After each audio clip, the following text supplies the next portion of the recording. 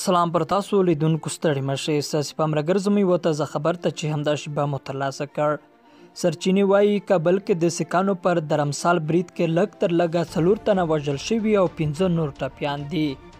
د افغانستان د کورنیو چارو وزارت وایي سهار نږدې اته بجې څو وسلوال کابل ښار کې درمسال ته ننوتلي او له امنیتي ځواکونو سره یې نښته روانه ده برید د کابل لومړی امنیتي حوزې په شور بازار سیمه کې شوی دی شور بازار د کابل زوړ ښار یوه پخوانی ځای دی او د دې سیمې د رمسال کې څو سې کورنۍ ژوند کوي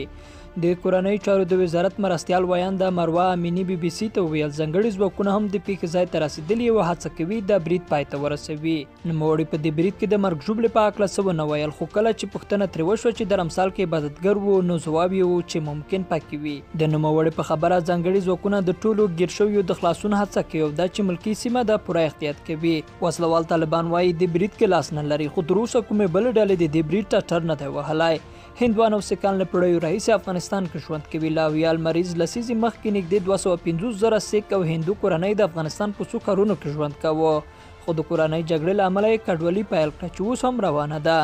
اوس له سلو کمې کورنۍ د افغانستان څو ښارونو کې ژوند کوي ناامني بېوزلي ښوونې روزنې ته نه لاسرسی او بې سرپناهي د دوی مهمې ستونزې دي د دې برید په اړه به نور جزئیات وروسته درکړو